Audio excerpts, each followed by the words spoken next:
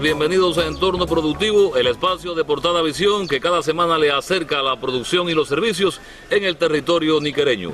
La emisión de hoy estará dedicada al máximo guía e inspirador del movimiento campesino cubano, al protagonista de la primera ley de reforma agraria de la fundación de la ANAP, de lograr una agricultura sostenible sin daños al medio ambiente, a Fidel, nuestro entorno productivo de hoy. Acompáñenos.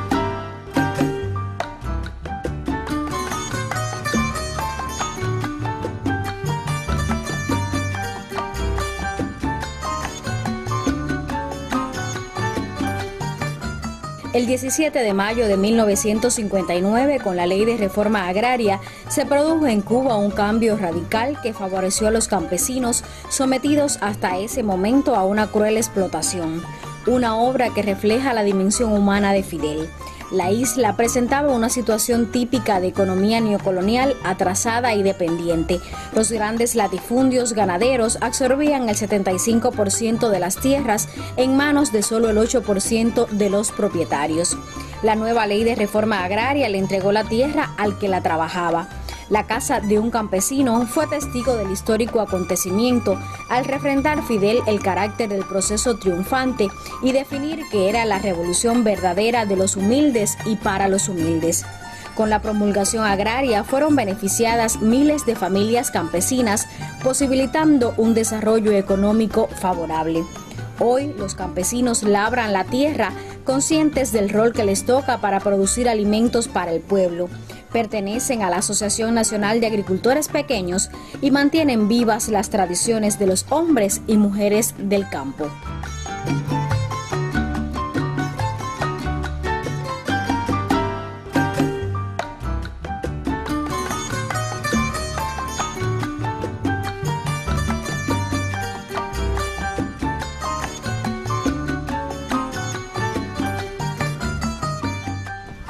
Transformaciones del campo cubano se destaca la presencia y la labor de nuestro comandante en jefe a través de las ideas que tantas veces defendió.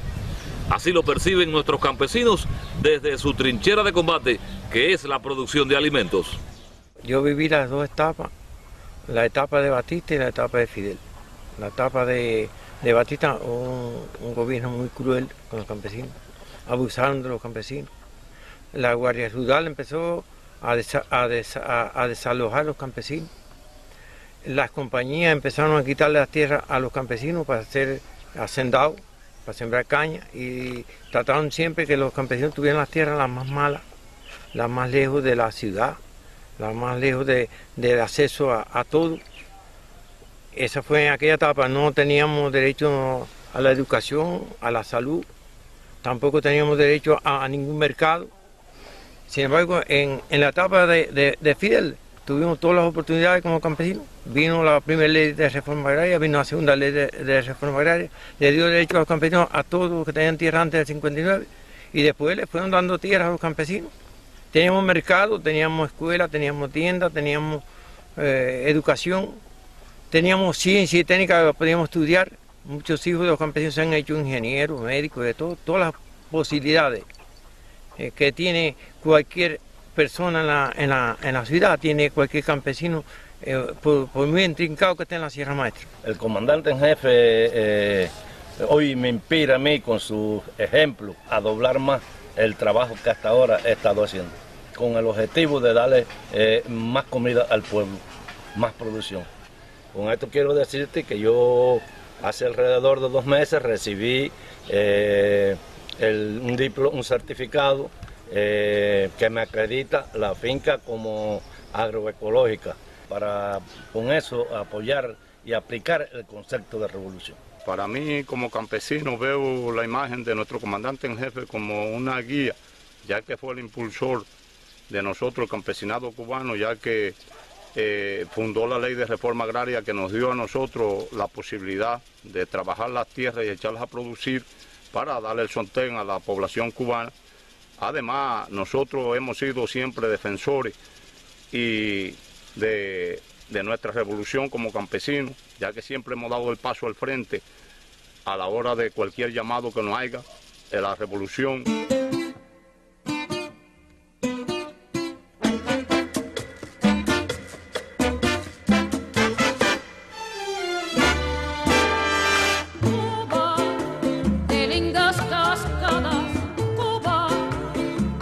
Bellas palmeras de famosas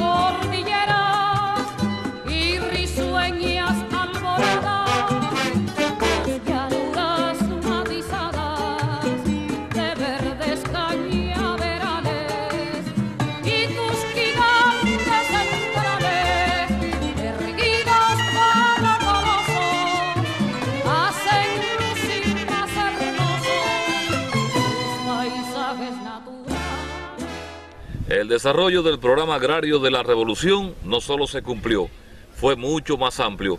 Entregó la propiedad de la tierra a campesinas y campesinos, llevó los adelantos de la ciencia y la técnica a la agricultura, otorgó créditos para financiar las producciones, llevó la educación, la salud pública, el deporte y la cultura hasta los más intrincados parajes de nuestros campos. Y lo más importante, les dio la independencia y la dignidad que solo puede ofrecer un país libre y soberano. mantener su legado y cada día hacer más esfuerzo, producir más para el pueblo, que esa es la ansia de él, que nosotros sea- seamos capaces de abastecer el alimento del pueblo lo más barato posible y llegar a sustituir todo lo que es importación. Porque de un punto de vista, el, el, poquito de economía que va, si se va para importar mercancía para acá, se nos va todo. Es producir más, producir más leche, más viandas, más carne, más todo, más caña. Ese debe ser el, el legado de Fidel y, creo que el sueño que tenía Fidel tenemos que hacerlo realidad hoy. dar todo lo que tengamos que dar por tratar de que la revolución avance y seguir produciendo las tierras y dar lo máximo porque esto vaya adelante y que la revolución nunca retroceda. Pienso que nosotros en este momento eh, el ejemplo y el legado que nos ha dado el comandante es de seguir su ejemplo y seguir produciendo cada día más nuestras tierras y ser ejemplo ante todo de esta revolución. y lo que me proyecto en el futuro es eh, seguir sembrando la finca, que yo no aplico ningún tipo de, de fertilizantes químicos, nada, todo lo que se produce aquí es materia orgánica. Y esas eran las enseñanzas de Fidel, la agroecología, una agricultura sostenible. El concepto de revolución es, la guía, la guía fundamental para trabajar este pueblo y fundamentalmente los campesinos, para ser más legado a sus principios, a su idea, a su formalidad. Como Fidel no nace más ninguna persona en este mundo.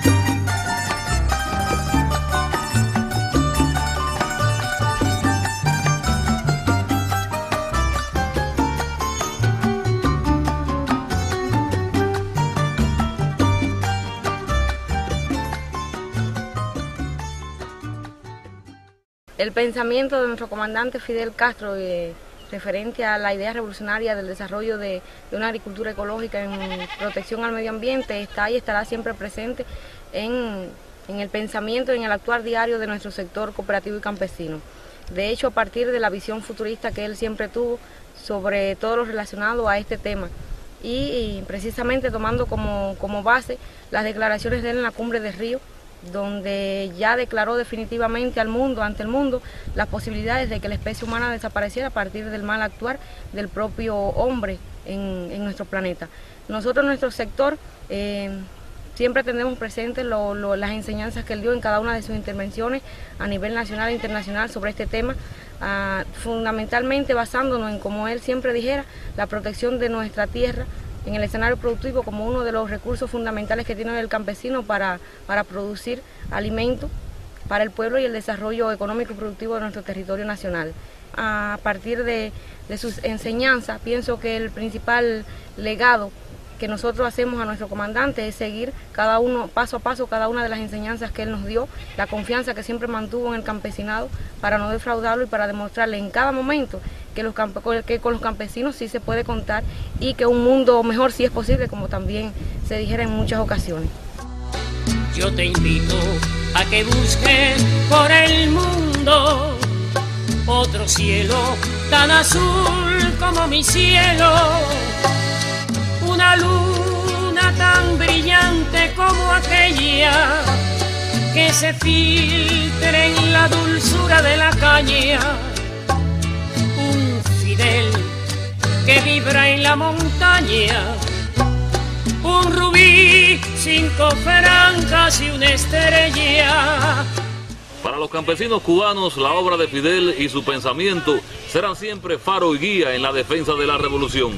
Y como expresara el presidente nacional de la NAT en el homenaje póstumo en Santiago de Cuba, te seguiremos viendo con cariño en cada amanecer luminoso de nuestros campos, entre palmas, llanos y montañas, en el esfuerzo y el sacrificio de cada jornada que fertiliza los suelos para seguir cultivando tu legado.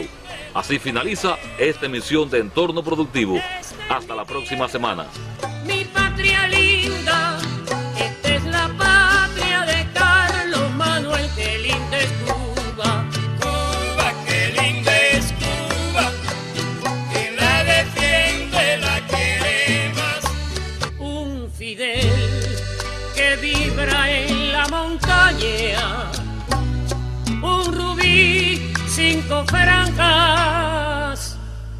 Rubí, cinco